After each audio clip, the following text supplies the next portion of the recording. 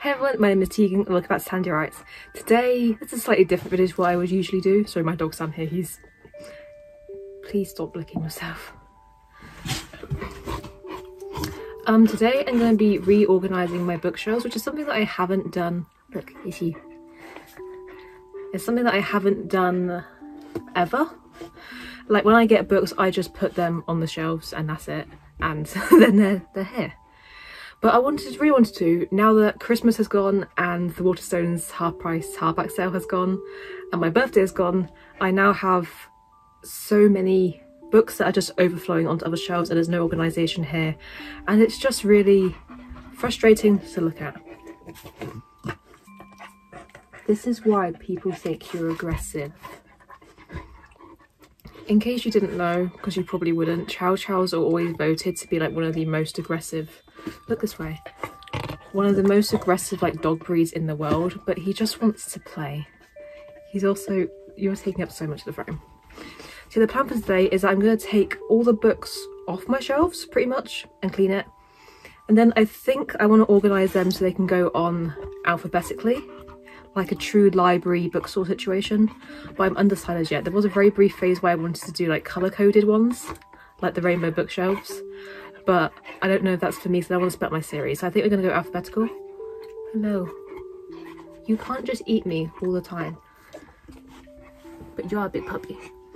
So yeah, plan for today. This is to be, it's to be one video, but I'm to break it into two parts. I'm to take off all my books today. I'm going to organise them off camera. And then I'm going to put them all back on tomorrow. So yeah. Will you stop?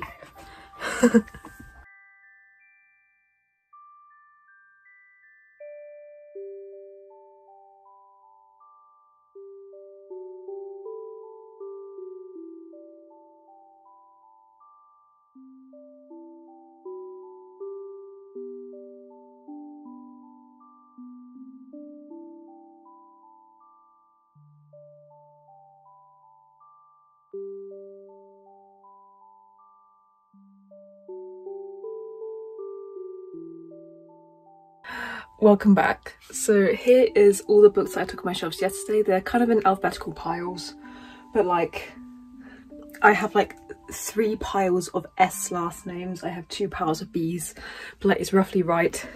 These shelves I haven't touched because that's all Cassandra Clare, that's all Rick Riordan. So I will just move those the second I had to put them on the right shelf. And this is currently excluding my Harry Potter, where's it gone? There. Excluding my Harry Potter first edition, this will all be like a donate pile. I'm out of breath. So the plan for today is just to put them back on my shelves. Also, I need to remember to leave a space to add my own books so I can be on my own shelves properly. So that's fun, and that's what we're gonna do. Also, I'm sitting down to start putting them on my shelves and starting the time lapse, and I'm realizing that, like, I have a um, my book collection is technically incomplete right now because I have a lot of books at uni and also I'm intending on buying more of specific authors' works. So I'm probably gonna have to rearrange all my shelves again in like a month or two's time when I move back from uni. but we're gonna get on with it.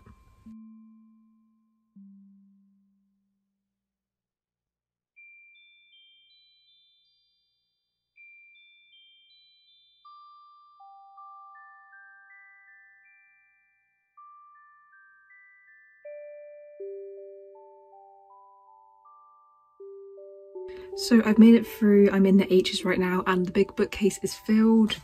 Um, my special edition Lady Midnight is too tall to fit on the shelf and so is this one, I believe. I don't know why that was. Wait. Oh no, this one fits on the top shelf but not on the shelves below. The top shelf is wider than the others. And now I'm moving on to the second shelf. I also knocked it over you may have seen like a big gap on me off camera because I knocked over my S piles, so now I have four S piles.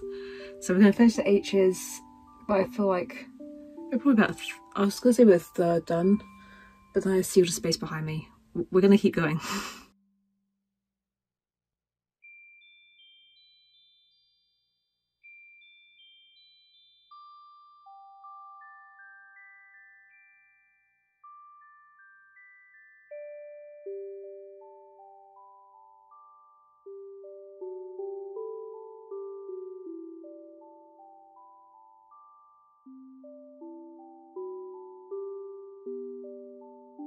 So in theory, I am done because my shelves have been filled or filled.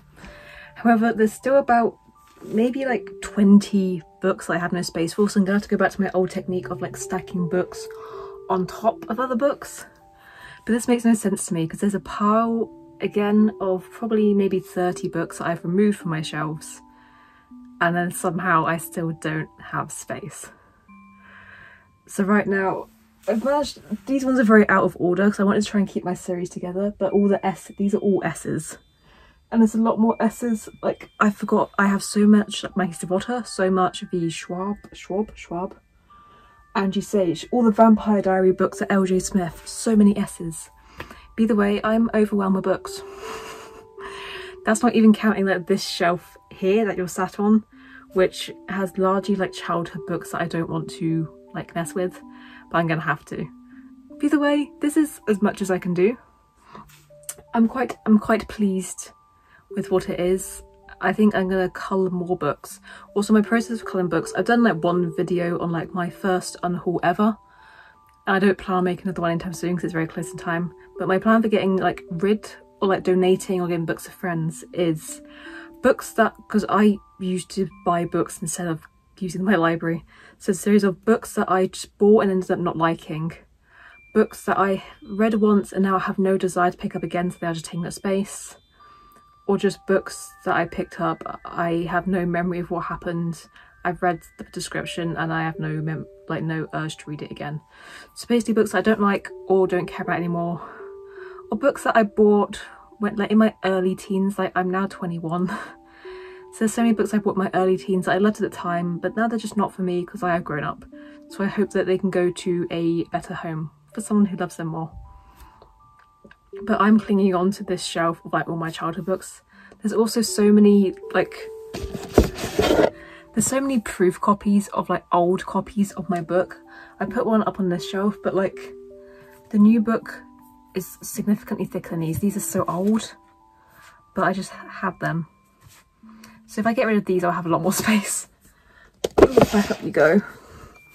By the way, thank you for watching. I hope some of that causes some enlightenment and I hope I can somehow find a way to fit more stuff on my shelves. Thank you for watching and I will see you next time. Bye. That's you.